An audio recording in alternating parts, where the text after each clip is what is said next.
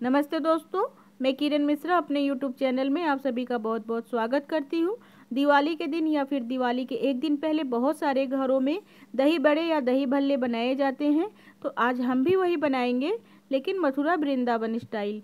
Mathura Vrindavan style इसलिए मैं बोल रही हूँ क्योंकि मैंने एक, एक वीडियो में देखा था कि मथुरा वृंदावन मंदिर के पास में एक दही भल्ले की दुकान है जो कि एक अलग शेप में बनाते हैं एक फीलिंग करके बनाते हैं।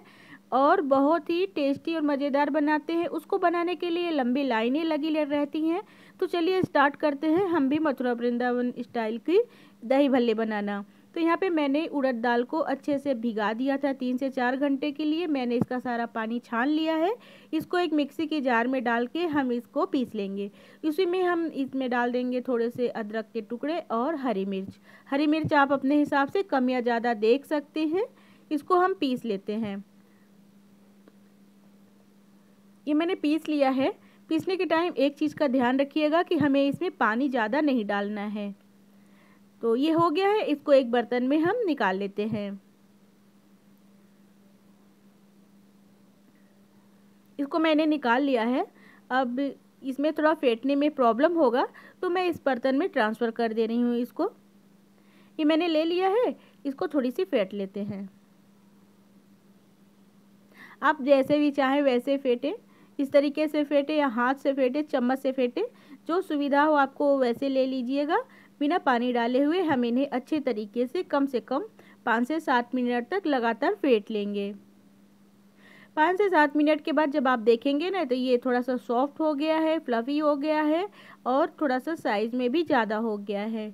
तो ये इसको अच्छे से फेरते हुए मुझे कम से कम पाँच से सात मिनट का समय लगा। ये हमारा रेडी हो गया है। तो एक बार हम इसके चेक करने के लिए पानी का जिस तरीके से पानी में डाल के चेक किया जाता है, चेक कर लेते हैं। तो मैंने छोटा सा पीस लिया है और पानी में जब इसको डाला ना तो ये देखिए, ये ऊपर आ गया है। तो मतलब कि हमारा ये जो दाल का पेस्ट है, वो अच्छा से रेडी है।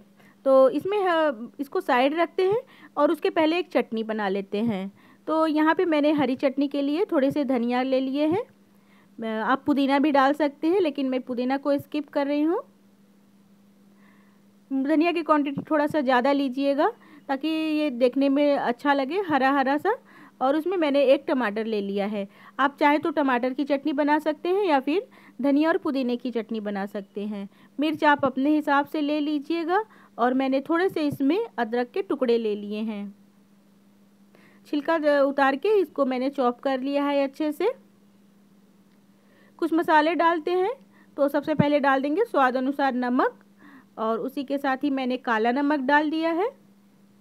जीरा पाउडर ले लिया है। बिना नींबू का रस डाले हुए हम इन्हें अच्छे से पीस लेंगे। तो ये देखिए, इसका कलर कितना सुंदर लग रहा है। तो धनिया की क्वांटिटी थोड़ा ज़्यादा रखिएगा, बहुत अच्छी चटनी बनेगी। इसको हम साइड रखते हैं और एक बार इसको चेक करते हैं। तो इसमें भी हम कुछ मसाले ऐड कर लेते हैं सबसे पहले। तो मैंने यहाँ पे धनिया पाउडर ले लिया है एक चम्मच के करीब और उसी के साथ ही थोड़ी सी हींग ले ली है। हींग ज़रूर डालिएगा, हींग डाल के ही बनाया जाता है और साथ में मैंने थोड़ा सा नमक ले लिया है। अब हाथ से हम इन्हें पाँच मिनट के लिए और भी फेंट लेंगे। पाँच मिनट के बाद ना ये बहुत अच्छा हो जाएगा, रेडी हो जाएगा बनने के लिए। तो पाँच मिनट तक और फेंट सकते हैं हम इन्हें। और और इसमें कुछ मिलाने की ज़रूरत हमें नहीं है। तो ये हमने थोड़े से काजू, किशमिश, बादाम, आपके पास जो भी ड्राई फ्रूट्स है, आप उसको ले लीजिएगा। मैंने काजू, किशमिश, बादाम ले लिया है। इसको बनाने के लिए हमें एक पॉलीथीन की ज़रूरत होगी तो मैंने इस तरीके से कट करके ले लिया है। इसको भी रख लेंगे, थोड़े से पानी की ज़रूरत पड़ेगी, इसको भी रख लेंगे और ये हमारा पीसा हुआ दाल है। तो चलिए स्टार्ट करते हैं बनाना। सबसे पहले पहले हम ये पैकेट के ऊपर में हल्का सा पानी लगा देंगे। पानी लगा के जो हमारा दाल का पेस्ट है, उसको इस तरीके से फैला लेंगे। तो और उसके बाद अंदर फिलिंग कर देंगे। इसको देखिए, इस तरीके से हम मोड़ लेंगे। ये देखिए। किनारे को हल्का सा प्रेस करेंगे ताकि ये चिपक जाए आपस में। और इसे हम चलते हैं कढ़ाई में डालने के लिए। तो मैंने यहाँ पे तेल रख दिया है। तेल हमारा हल्का गर्म है। हमें बहुत ज़्यादा गरम गरम तेल में नहीं डालना है। और इसको डायरेक्ट हम कढ़ाई में डाल देंगे। इन्हें हम तब तक टच नहीं करेंगे जब तक कि, कढ़ाई छोड़ नहीं देगा। ऊपर से इस तरीके से तेल डालेंगे। ताकि ये जल्दी से पक जाए। मैं ये पहला पीस बना रही थी तो मुझे लग रहा था कि ये साइज़ में थोड़े से बड़े हो गए हैं। तो लेकिन मैं इसे थोड़े से और छोटे बनाना चाहूँगी। आगे मैं आपको दिखाती हूँ, मैंने इस तरीके से भी बना लिया था। थोड़े छोटे पीस में। इन्हें हम इसमें से कढ़ाई में से निकाल के जब गोल्डन ब्राउन कलर हो जाए तो इधर मैंने पानी और जीरा, नमक गरम करके रखा है। हम इसमें इसको डाल देंगे। ढक्कन लगा के हम तीन से चार मिनट के लिए छोड़ देंगे। ये अच्छा से फूल जाएगा। आप जिस तरीके से मैंने उठा के कढ़ाई में डाला था तो पैकेट से इस तरीके से आप छुड़ाएँगे तो ये आराम से छूट जाएगा। हाथ बचाते हुए आप इन्हें कढ़ाई में डाल दीजिए, इस तरीके से।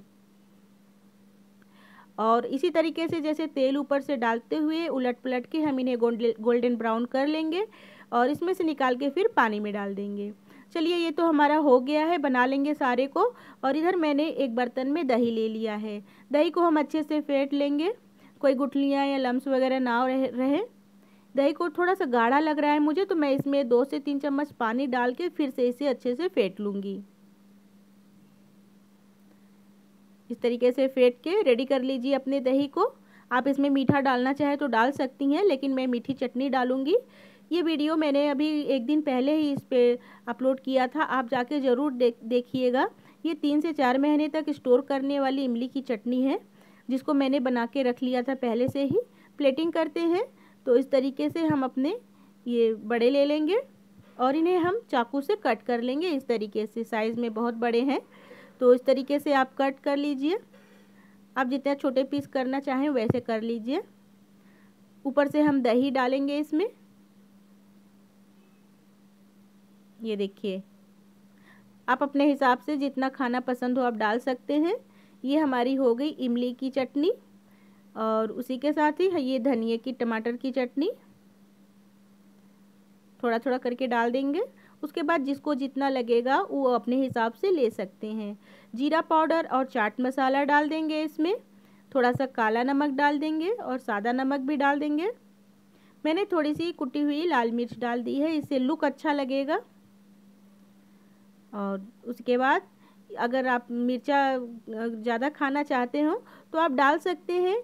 और नहीं तो इस तरीके से आप थोड़ी सी भुजिया डाल दीजिए इसमें। धनिया का पत्ती और हरी मिर्च डाल दीजिए। मैंने यहाँ पे थोड़े से अनार के दाने डाले हैं। बिल्कुल ऑप्शनल है अनार के दाने डालना, लेकिन लुक देखने में बहुत अच्छा लगता है। तो इस तरीके से आप ट्राई कर सकते हैं। मज़ेदार से टेस्टी सा हमारा ये दही भल्ले, जो कि काजू किशमिश भरा हुआ है अंदर।